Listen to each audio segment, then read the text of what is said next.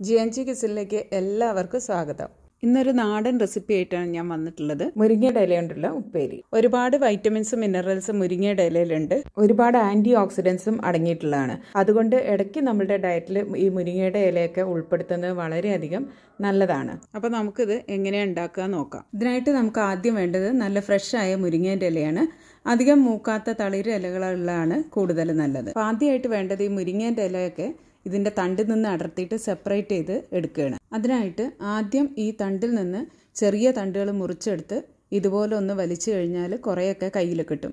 പിന്നെ ഇതിലുള്ള വീണ്ടും ഈ അറ്റത്തുള്ള ഇല പിടിച്ചിട്ട് ബാക്കി പതുക്കെ വലിച്ചു കഴിഞ്ഞാൽ ഓരോ ഇലകളായിട്ട് നമുക്ക് കിട്ടും. കഴിവതും ഇതിൽ തണ്ട് ഒട്ടും പെടാതെ സൂക്ഷിക്കുക.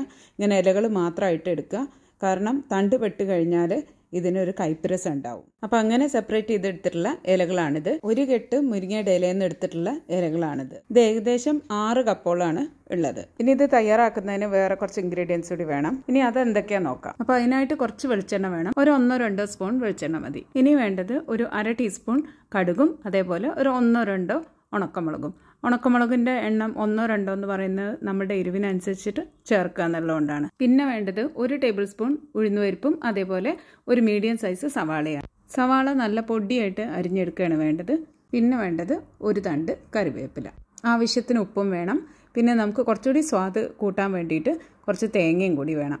തേങ്ങയുടെ അളവൊക്കെ അവരവരുടെ ഇഷ്ടത്തിനനുസരിച്ചിട്ട് എടുക്കാവുന്നതാണ്. കാരണം തേങ്ങ കുറച്ച് കൂടുതൽ ടേസ്റ്റ് ഇഷ്ടമുള്ളവർക്ക് കുറച്ച് കൂടുതൽ ഇടാം. ഞാനിപ്പോൾ എടുത്തിട്ടുള്ളത് ഏകദേശം ഒരു കപ്പോളാണ്. ഈ ഒരു മുരിങ്ങയുടെ ഉപ്പേരിയിൽ എപ്പോഴും കൂടുതൽ തേങ്ങ ചേർക്കുന്നത് കൂടുതൽ ടേസ്റ്റ് തന്നെയാണ്. അപ്പോൾ ഇനി ഇത് തയ്യാറാക്കുന്നത് എങ്ങനെയാണെന്ന് നോക്കാം. ആദ്യം തന്നെ ഒരു പാത്രം അടുപ്പത്ത് വെച്ച് ചൂടാക്കാം. ഒരു ചീനച്ചട്ടിയോ ഫ്രൈ പാനോ ഏതായാലും കുഴപ്പമില്ല.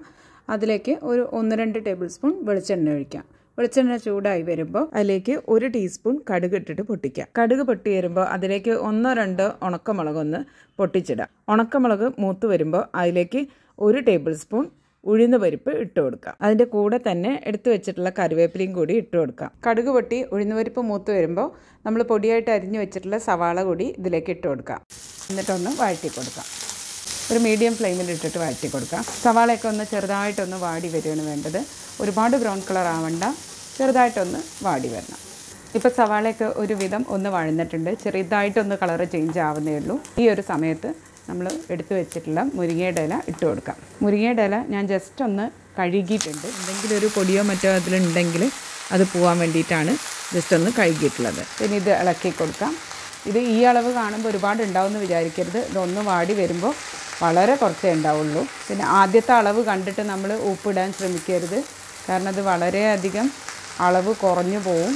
അപ്പോൾ നമ്മൾ ഉപ്പ് ആദ്യത്തെ അളവിനനുസരിച്ചിട്ട് ഇട്ട് കഴിഞ്ഞാൽ ഉപ്പ് അധികമായി പോവും.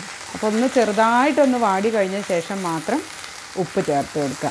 ഇത് ചെറുതായിട്ടൊന്ന് വാടി വന്നിട്ടുണ്ട്. ഏകദേശം ഒരു പകുതിയോളം ആയിട്ടുണ്ട്. അപ്പോൾ ഇനി ഉപ്പ് ചേർത്ത് കൊടുക്കാം. ഒരു അര ടീസ്പൂൺ ഉപ്പാണ് ചേർക്കുന്നത്. എപ്പോഴും കുറച്ച് ചേർത്ത് കൊടുക്കാൻ നോക്കുക. വേണമെങ്കിൽ നമുക്ക് രണ്ടാമത് ആഡ് ചെയ്യാം. കൂടിപ്പോയാൽ പിന്നെ ഒന്നും നമുക്ക് ചെയ്യാൻ പറ്റില്ല. ഉപ്പ് ചേർത്ത ശേഷം വീണ്ടും ഇളക്കി കൊടുക്കാം. ഒന്നൊന്ന് വഴന്ന ശേഷം നമ്മൾ എടുത്തു വെച്ചിട്ടുള്ള തേങ്ങ ചേർത്ത് കൊടുക്കാം. ഇത് ഒരു കപ്പ് തേങ്ങയാണ് ചേർത്തത്. ഇത്രയും തേങ്ങ വേണമെന്നില്ലാത്തവർക്ക് അളവ് കുറയ്ക്കാവുന്നതാണ്. നന്നായി ഇളക്കി യോജിപ്പിക്കാം. കുട്ടികൾക്കൊക്കെ കുറച്ച് തേങ്ങയൊക്കെ നല്ലോണം ചേർത്ത് കഴിഞ്ഞാൽ വളരെയധികം ഇഷ്ടമായിരിക്കും പച്ചയും വെള്ളയും ഒക്കെ കൂടി ഇട്ട് നല്ലൊരു കളർഫുൾ ലുക്കും കിട്ടും. കുറച്ചുകൂടി ഒരു അട്രാക്റ്റീവായി മാറും അത്. തേങ്ങ ചേർത്ത ശേഷം അങ്ങനെ ഒരുപാട് വഴറ്റൊന്നും വേണ്ട.